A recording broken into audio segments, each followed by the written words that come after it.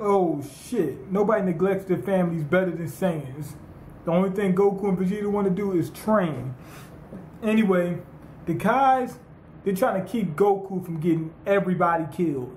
Now, you already know Goku killed King Kai and uh, Bobo or whatever, the monkey on, on King Kai's planet, and and Jeffrey, whatever his name is, the, the, the cricket or whatever. And killed both of them. Killed all three of them motherfuckers.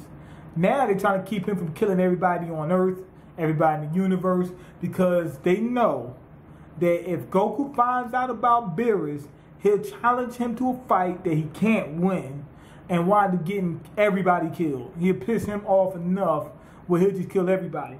Now, I, I now and which column was right? Sawyer, is, I think it was Sawyer, where he said they're setting up Beerus to be a little bit more evil. I think also um, RBG also said the same thing. Random Black Gamer.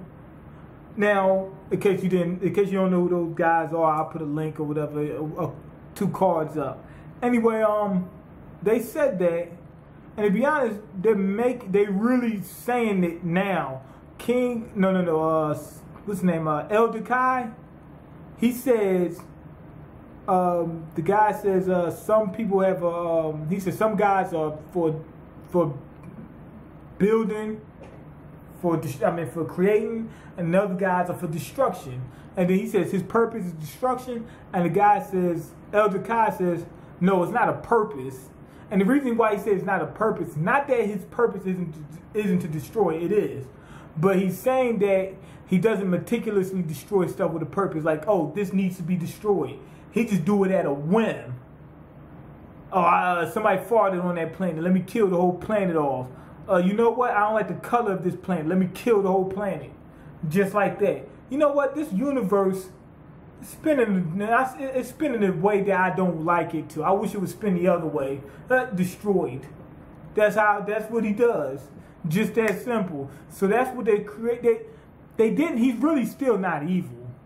He's not evil. He's an asshole.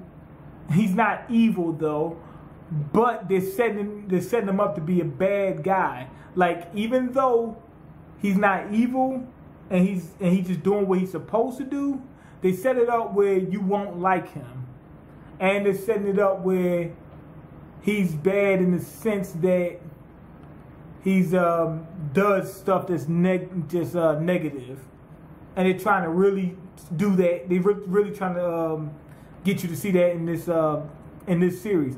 But in the movie, King Kai, he said the opposite. He says, well, it's got nothing to do with good or bad. He's just, he's the guy of destruction. He's supposed to destroy. That's what he does. You know, that's what he said in the movie.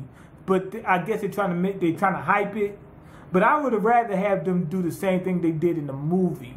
Because he's just a guy of destruction. That's what he's supposed to do. I mean, I can I can understand them showing, you know, some of his feats, and then you just like, oh my God, you'll get that factor. You'll get the fear of God in you.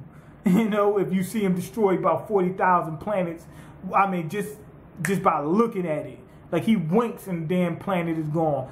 Okay, I get the I got the fear of God in me from that. I don't need to to hear that. Oh, he's bad because he's really not bad per se. He's just doing what he's supposed to do.